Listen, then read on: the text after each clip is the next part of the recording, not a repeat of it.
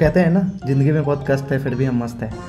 तो आज से मैं अपना डेली ब्लॉगिंग स्टार्ट करने वाला हूँ। पहले दिन सुबह चार बजे उठ के मैंने किया ब्रश ब्रश करने के बाद मैं सबसे पहले मेडिटेशन करने बैठ गया। मेडिटेशन पंद्रह बीस मिनट मेडिटेशन करने के बाद रियो का हाल कुछ ऐसा था। उसके बाद मैं अपने वर्कआउट में लग गया। वर्कआउट में रियो ने मुझे काफ़ी परेशान किया, पर जैसे जैसे मैंने अपना वर्कआउट कंप्लीट किया। मुझे किसी ने बताया था कि हनुमान चालीसा पढ़ते समय एक गिलास पानी वहाँ ज़रूर रखें। तो मैं तब से ऐसा ही करने लगा हूँ और उसके बाद फिर मैंने अपना हनुमान चालीसा का पार्ट कंप्लीट करके रियो को मैं ले गया वॉक पे। थोड़ी दूर चलने के बाद रियो की हालत कुछ ऐसी थी, उसे घसीटना, उठाना पड़ा।